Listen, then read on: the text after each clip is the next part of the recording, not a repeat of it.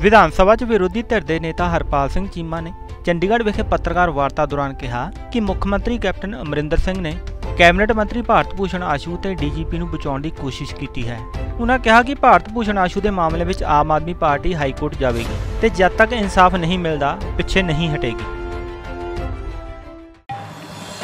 ਪੰਜਾਬ ਵਿਧਾਨ ਸਭਾ ਦਾ session ਤੁਹਾਨੂੰ ਪਤਾ ਚੱਲ ਰਿਹਾ ਹੈਗਾ। ਵਿਧਾਨ ਸਭਾ ਸੈਸ਼ਨ ਦੇ ਦੌਰਾਨ ਅਸੀਂ ਦੋ ਅਹਿਮ ਮੁੱਦੇ ਜਿਹੜੇ ਹੈਗੇ ਨੇਗੇ ਖਾਸ ਤੌਰ ਤੇ ਭਾਰਤ ਭੂਸ਼ਣ ਆਸ਼ੂ ਤੇ ਦਿਨਕਰ ਗੁਪਤਾ ਦਾ ਮੁੱਦਾ। ਦੋਨਾਂ ਦਾ ਮੁੱਦਾ ਪੰਜਾਬ ਵਿਧਾਨ ਸਭਾ 'ਚ ਉਠਾਇਆ ਸੀ ਔਰ ਪਹਿਲੇ ਦਿਨ ਪਹਿਲੇ ਦਿਨ ਲਗ ਚਾਰ ਵਾਰ, ਪਹਿਲੇ ਦਿਨ ਚਾਰ ਵਾਰ ਵਿਧਾਨ ਸਭਾ ਜਿਹੜੀ ਆ, ਵਿਧਾਨ ਸਭਾ ਨੂੰ ਅਡਜ਼ਰਨ ਕਰਨ ਪਿਆ ਸੀਗਾ।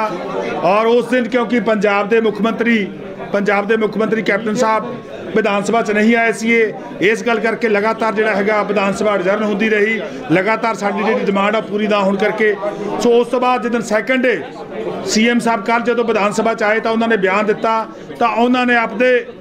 ਆਪਦੇ ਜਿਹੜੇ ਹੈਗੇ ਨੇ ਡੀਜੀਪੀ ਨੂੰ ਬਚਾਇਆ। ਆਪਦੇ ਭਾਰਤ ਭੂਸ਼ਣ ਆਸ਼ੂ, ਜਿਹਦਾ ਤੁਹਾਨੂੰ ਸਾਰਿਆਂ ਨੂੰ ਪਤਾਗਾ ਕਿ ਜਿਹਦਾ ਨਾਮ ਅੱਤਵਾਦੀ ਗਤੀਵਿਧੀਆਂ 'ਚ ਸ਼ਾਮਲ ਆ, ਉਹ ਦੋਨਾਂ ਨੂੰ ਬਚਾਇਆਗਾ। ਉਹਨਾਂ ਨੂੰ ਬਚਾਉਣ ਦੀ ਕੋਸ਼ਿਸ਼ ਕੀਤੀ ਆ। ਇਹ ਮਾਮਲਾ ਇਹ ਮਾਮਲਾ ਆਮ ਆਦਮੀ ਪਾਰਟੀ ਨੇ ਬਿਲਕੁਲ ਨਹੀਂ ਛੱਡਿਆ ਹੈਗਾ। ਇਹ ਮਾਮਲੇ ਨੂੰ ਜਿਹੜਾ ਹੈਗਾ, ਹੁਣ ਅਸੀਂ ਵਿਧਾਨ ਸਭਾ 'ਚ, ਕਿਉਂਕਿ ਵਿਧਾਨ ਸਭਾ ਪਵਿੱਤਰ ਸਦਨਾ, ਜਿੱਥੇ ਪੰਜਾਬ ਦੇ ਸਾਰੇ ਲੋਕਾਂ ਦੇ ਮਾਮਲੇ, ਕਿਉਂਕਿ ਹੋਰ ਬਹੁਤ ਸਾਰੇ ਮਾਮਲੇ ਅੱਜ 4 ਸਾਲ 3 ਸਾਲ ਸਰਕਾਰ ਨੂੰ ਕੰਪਲੀਟ ਹੋ ਗਏ, ਚੌਥਾ ਸਾਲ ਲੱਗਿਆਗਾ ਇਹ ਸਾਰੇ ਮਾਮਲੇ ਜਿਹੜੇ ਹੈਗੇ ਨੇਗੇ, ਵਿਧਾਨ ਸਭਾ 'ਚ ਵਿਚਾਰਨੇ ਨੇ, ਚਾਹੇ ਉਹ ਕਿਸਾਨਾਂ ਦਾ ਮਾਮਲਾਗਾ ਚਾਹੇ ਉਹ ਨੌਜਵਾਨਾਂ ਦਾ ਮਾਮਲਾਗਾ ਚਾਹੇ ਉਹ ਮੁਲਾਜ਼ਮਾਂ ਦਾ ਮਾਮਲਾਗਾ ਚਾਹੇ ਵਪਾਰੀਆਂ ਦਾ ਮਾਮਲਾਗਾ ਚਾਹੇ ਦਲਤਾਂ ਦਾ ਮਾਮਲਾਗਾ ਚਾਹੇ ਕਿਸੇ ਹੋਰ ਵਰਗ ਦਾ ਮਾਮਲਾ, ਸਾਰੇ ਵਰਗਾਂ ਦੇ ਮਾਮਲੇ ਜਿਹੜੇ ਹੈਗੇ ਨੇ ਪੰਜਾਬ ਵਿਧਾਨ ਸਭਾ 'ਚ ਅਸੀਂ ਵਿਚਾਰ ਰਹੇ ਨੇਗੇ। ਇਸ ਗੱਲ ਕਰਕੇ ਜਿਹੜਾ ਹੈਗਾ, ਇਹ ਇਸ਼ੂ ਤੇ ਅਸੀਂ ਪੰਜਾਬ ਵਿਧਾਨ ਸਭਾ ਦੇ ਵਿੱਚ ਜਿਹੜਾ ਹੈਗਾ, ਉਹ ਉਸੇ ਤੱਕ ਉਸੇ ਤੱਕ ਸੀਮਤ ਆ। ਪਰ ਲੇਕਿਨ ਅਸੀਂ ਜਿਹੜੀ ਕੈਪਟਨ ਸਾਹਿਬ ਨੇ ਗੱਲ ਕੀਤੀ, ਉਹਦੇ ਨਾਲ ਬਿਲਕੁਲ ਸਹਿਮਤ ਨਹੀਂ ਹੈਗੇ। ਜਦ ਤੱਕ ਭਾਰਤ ਭੂਸ਼ਣ ਆਸ਼ੂ ਅਸਤੀਫਾ ਨਹੀਂ ਦਿੰਦਾ ਹੈਗਾ, ਜਦ ਤੱਕ ਜਿਹੜਾ ਹੈਗਾ ਦਿਨਕਰ ਗੁਪਤਾ ਨੂੰ ਲਾਂਬੇ ਨਹੀਂ ਕੀਤਾ ਜਾਂਦਾ, ਸਾਡੀ ਇਹ ਐਜੀਟੇਸ਼ਨ ਜਿਹੜੀ ਹੈਗੀ ਆ, ਜਿਹੜੀ ਹੁਣ ਵਿਧਾਨ ਸਭਾ ਚੱਲਦੀ ਸੀ, ਇਸ ਐਜੀਟੇਸ਼ਨ ਨੂੰ ਪੰਜਾਬ ਦੇ ਲੋਕਾਂ 'ਚ ਲੈ ਕੇ ਜਾਵਾਂਗੇ ਔਰ ਭਾਰਤ ਭੂਸ਼ਣ ਆਸ਼ੂ ਦੇ ਖਿਲਾਫ ਭਾਰਤ ਭੂਸ਼ਣ ਆਸ਼ੂ ਦੇ ਖਿਲਾਫ ਪੰਜਾਬ ਦੀ honourable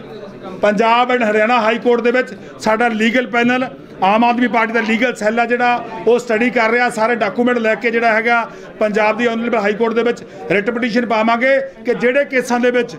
ਜਿਹੜੇ ਕੇਸਾਂ ਦੇ ਵਿੱਚ ਹਾਲੇ ਤੱਕ ਚਲਾਨ ਨਹੀਂ ਹੋਇਆ, ਕਿਉਂਕਿ ਬਾਰ-ਬਾਰ ਕੈਪਟਨ ਸਾਹਿਬ ਨੇ ਕਿਹਾਗਾ ਕਿ 50 ਨੰਬਰ ਮੁਕੱਦਮਾ ਮੁਕੱਦਮਾ ਨੰਬਰ 50 ਦੇ ਵਿੱਚ ਮੁਕੱਦਮਾ ਨੰਬਰ 50 ਦੇ ਵਿੱਚ ਜਿਹੜੀ ਆ, ਉਹਦੀ ਇੱਕ ਕਿਟਲ ਹੋ ਚੁੱਕੀ ਆ, ਉਹ ਬਰੀ ਹੋ ਚੁੱਕੇ ਨੇ। ਪਰ ਮੈਂ ਤੁਹਾਨੂੰ ਦੱਸਦਾ, ਬੜੇ ਜ਼ਿੰਮੇਵਾਰੀ ਨਾਲ ਕਹਿਣਾਗਾ ਜਿਹੜਾ ਕਨਫੈਸ਼ਨ ਆ, ਜਿਹੜਾ ਕਵਾਲੀਆ ਬਿਆਨ ਆ, ਮੁਕੱਦਮਾ ਨੰਬਰ 50 ਦਾ ਕਵਾਲੀਆ ਬਿਆਨ, ਜਿਹੜਾ ਕਿ ਹੋਰਨਾਂ ਕੇਸਾਂ ਬਾਰੇ ਕੀਤਾ ਗਿਆ। ਹੋਰਨਾਂ ਕੇਸਾਂ ਬਾਰੇ ਕੀਤਾ ਗਿਆ, ਜਿਵੇਂ ਕਿ ਤਿੰਨ ਔਰਤਾਂ ਦਾ ਕਤਲ,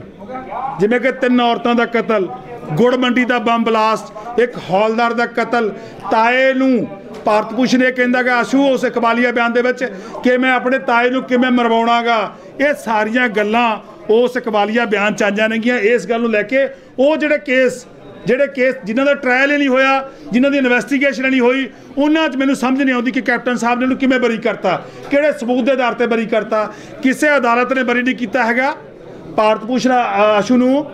ਮੁਕੱਦਮਾ ਨੰਬਰ 50 ਤੋਂ ਬਿਨਾ ਹੋਰ ਮੁਕੱਦਮੇ ਜਿਨ੍ਹਾਂ 'ਚ ਮੈਂ ਸਮਝਦਾ ਉਹਨਾਂ ਦੀ ਨੋਮੀਨੇਸ਼ਨ ਬਣਦੀ ਆ, ਉਹਨਾਂ ਦੇ ਖਿਲਾਫ ਇਨਵੈਸਟੀਗੇਸ਼ਨ ਹੋਣ ਬਣਦੀ ਆ ਅਜੇ ਤੱਕ ਉਹਨਾਂ 'ਚ ਕੋਈ ਇਨਵੈਸਟੀਗੇਸ਼ਨ ਨਹੀਂ ਹੋਈ, ਕੋਈ ਚਲਾਨ ਪੇਸ਼ ਨਹੀਂ ਹੋਇਆ, ਕੋਈ ਟ੍ਰਾਇਲ ਨਹੀਂ ਹੋਇਆ, ਕਿਸੇ ਨੇ ਉਹਨਾਂ ਕੇਸਾਂ 'ਚ ਉਹਨਾਂ ਨੂੰ ਕਿਟਲ ਨਹੀਂ ਕੀਤਾ, ਬਰੀ ਨਹੀਂ ਕੀਤਾ ਹੈਗਾ ਜਾਂ ਸਜ਼ਾ ਨਹੀਂ ਦਿੱਤੀ ਹੈਗੀ। ਮੇਰਾ ਕਹਿਣ ਦਾ ਪਾਵਾ ਉਹਦੇ ਖਿਲਾਫ ਸਾਡਾ ਲੀਗਲ ਸੈੱਲ ਸਾਡਾ ਜਿਹੜਾ ਹੈਗਾ ਪਾਰਟੀ ਦਾ, ਉਹ ਇਹਦੇ ਤੇ ਸਾਰੇ ਕਾਨੂੰਨੀ ਪੇਚ ਤੁਜਾਂ ਦੇਖ ਕੇ ਪੰਜਾਬ ਦੀ ਆਨਰੇਬਲ ਹਾਈ ਕੋਰਟ ਦੇ ਵਿੱਚ ਜਾਵਾਂਗੇ, ਜਿਹੜੇ ਨਿਹੱਥੇ ਸਾਡੇ ਨੌਜਵਾਨ ਗੁੜ ਮੰਡੀ 'ਚ ਮਾਰੇ ਗਏ ਜਾਂ ਤਿੰਨ ਔਰਤਾਂ ਮਾਰੀਆਂ ਗਈਆਂ ਜਾਂ ਹੌਲਦਾਰ ਮਾਰਿਆ ਗਿਆ, ਅਸੀਂ ਉਹਨਾਂ ਨੂੰ ਇਨਸਾਫ ਲੈ ਕੇ ਦੇਵਾਂਗੇ।